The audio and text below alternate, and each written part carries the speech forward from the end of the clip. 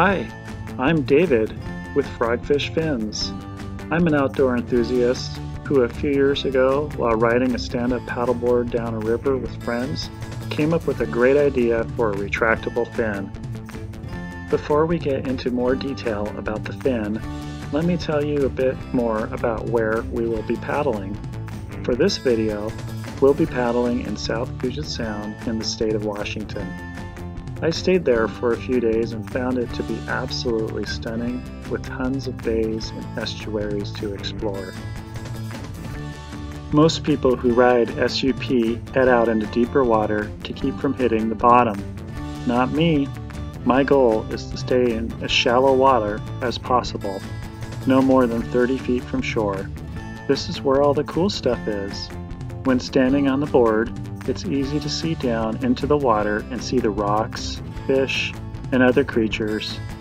This is what I love about Frogfish Fin. I can paddle way up inside estuaries, creeks, coves, and bays that others shy away from. The way I see it, this is where all the cool stuff can be found. Here is an underwater shot of the fin in action I'm paddling through about 8 to 10 inches of water. The fin is hitting bottom and pivoting up out of the way, allowing me to keep moving. No sudden stops with this fin.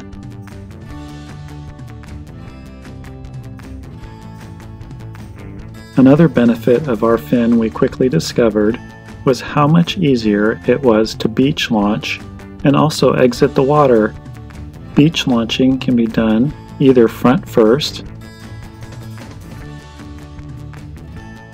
or rear first.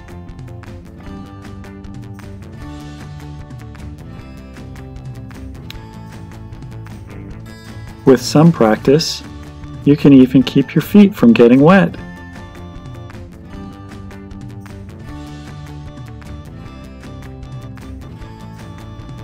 As I paddled up further into the estuary, I came across some underwater logs.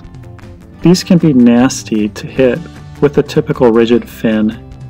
The board stops abruptly and the paddler falls to their knees or even all the way into the water.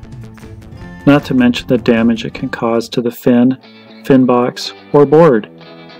That's not the case with the frogfish fin.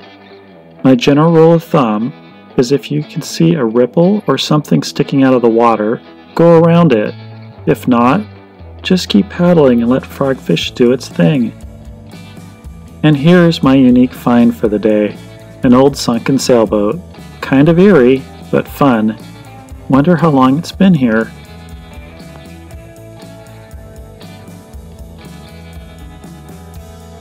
Okay, now we've reached the upper estuaries. This is where the creeks meet the saltwater and where few people go. I'm one of those people. Trees are down across the water, branches to duck under, my goal typically is to paddle as far up as I can go, usually around 6 inches of water.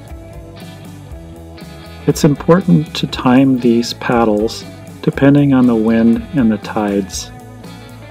If you want to get up into the estuaries as far as you can possibly get, then watch for the highest tides of the day. If you want to see as much sea creatures, Try for the lowest tides of the day.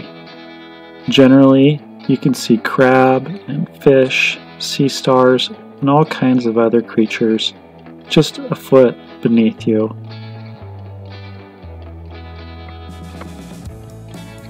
Some more underwater action.